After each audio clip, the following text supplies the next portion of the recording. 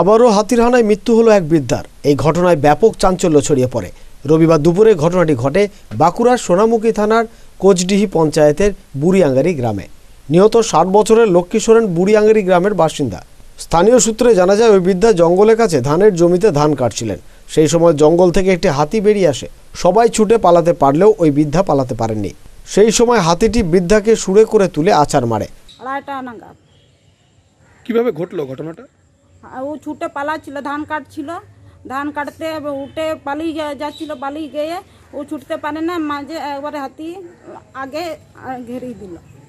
কটা হাতি ছিল? একটি। এবার ছুড়ে করে ধরে ছুড়ে ফেলে দিল আর কাদাতে থেকালে মে- পায়ে করে দিয়ে দিল। মানে আপনারা কি জঙ্গলের পাশেই ধান কাটছিলেন? হ্যাঁ আমরা জঙ্গলের পাশেই। বন দপ্তরের কি ভূমিকা রয়েছে হাতি তাড়ানোর ব্যাপারে? সঙ্গে তো আছে সবার কারি তাড়াবো তাড়াবো এই বনের জঙ্গলের ধারে আমাদের বনের ধারে জমি। না তাড়ালে তো এরকম যদি ক্ষতি হয়ে যায় আমাদের কি করব তাহলে? একদিকে ফসলের ক্ষতি হচ্ছে একদিকে মানুষ হ্যাঁ, মারা যাচ্ছে। মারা যাচ্ছে। হাতিগুলো পালিয়ে গেলে ভালো। খবর পেয়ে বন দপ্তরের কর্মীরা ও পুলিশ ঘটনাস্থলে উপস্থিত হয়ে ওই বৃদ্ধাকে উদ্ধার করে সোনামুখী গ্রামীণ হাসপাতালে নিয়ে গেলে কর্তব্যরত চিকিৎসক বৃদ্ধাকে পরীক্ষা করে মৃত বলে ঘোষণা করেন। এই ঘটনায় পরিবার সহ এলাকায় শোকের ছায়া নেমে আসে। এইখানে আজকে রাত্রে মানে অন্য জায়গা থেকে হাতি আনা হয়েছিল। আজকে গেল রাত্রে আমরা আর সারা রাত জেগেছি। তো হাতি মানে চারিদিকে হয়ে গেছে। এইখান থেকে যাতে এই সোনামকি রেঞ্জ থেকে হাতিগুলো যেন অন্য দিকে পাঠিয়ে দিতে পারে আমাদের ফসল নষ্ট হচ্ছে একজন মানুষ আমাদের মেরে আহ, আমাদের এইখান থেকে মানে বিরাট দাপিয়ে বেড়াচ্ছে। এই জন্য আমাদের খুব অসুবিধা হচ্ছে। যাতে এইখান থেকে দ্রুত রেঞ্জার কিংবা বিট তাড়াতাড়ি এখান থেকে ব্যবস্থা করে। সোনামুখী রেঞ্জ অফিসার দয়াল চক্রবর্তী জানান এটা অত্যন্ত দুঃখজনক ঘটনা। সরকারি নিয়ম অনুযায়ী তার পরিবারের হাতে ক্ষতিপূরণ তুলে দেওয়া হবে। হাতিটা পরশু দিন থেকে এসেছিল।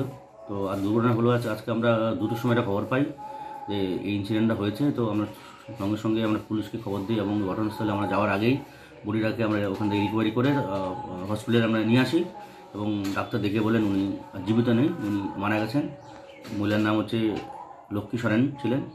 বয়স প্রায় ছাপ্পান্ন, পঞ্চান্ন, ছাপ্পান্ন বছর বয়স এবং মারা যা দায়িত্ব সেটা আমাদের ফরেস্ট ডিপার্টমেন্ট থেকে মৃত্যু হওয়া জনিত যে কম্পেনসেশন দেওয়া হয় তার জন্য যে অগ্রিম সেভেন্টি ফাইভ পার্সেন্ট মানে তিন লক্ষ বাহাত্তর হাজার টাকা দেওয়ার যে ঘোষণা সরকার মুখ্যমন্ত্রী, মাননীয় মুখ্যমন্ত্রী ঘোষণা করেছেন, সেই অনুযায়ী ওনার হাজব্যান্ডকে আমরা ওনার সঙ্গে আমরা যোগাযোগ করি এবং আমাদের অফিসে নিয়ে আসি এবং তার হাতে আমরা কালকে সম্ভবত চেকটা তুলে দেবো এবং বাকি চেক পোস্ট পোস্টমর্টম হওয়ার পর ওনাকে দেওয়া হবে।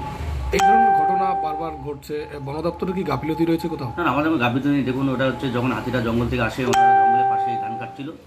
তো সেই সময় হঠাৎ যখন হাতিটা যে শুনতে পেলাম যে হাতি যখন আসে, তখন উনি পালাতে পারেনি, বাকি সব পালিয়ে গেছিল, কিন্তু উনি যেহেতু কাদা আছে, তো উনি পালাতে পারেনি, এই জন্য ইনসিডেন্ট হয়েছে। এবং ঘটনা হয়েছে আজকে প্রায় ঠিক দুটোর সময়। তো বুঝতে পারছেন, দিনের বেলা হাতি নেমে গেছে, একটা দলসুত হাতি, দাতাল হাতি। তো, কিছুক্ষণ আগেও আমি সেখান দিয়ে দেখে এসেছিলাম যা ঘটনাটা হয়ে গেছে এটা একটা মানে আমাদের কাছে একটা দুর্ঘটনাজনক একটা দুর্ভাগ্যজনক একটা ঘটনা হলো। তো দেখা যাক আমরা চেষ্টা করছি সোনামুখী থেকে হাতিগুলোকে দ্রুত সরিয়ে নেওয়ার জন্য যাতে ব্যবস্থা আমরা করছি। বাঁকুড়া থেকে সৈয়দ মফিজুল হদা আনন্দ বার্তা।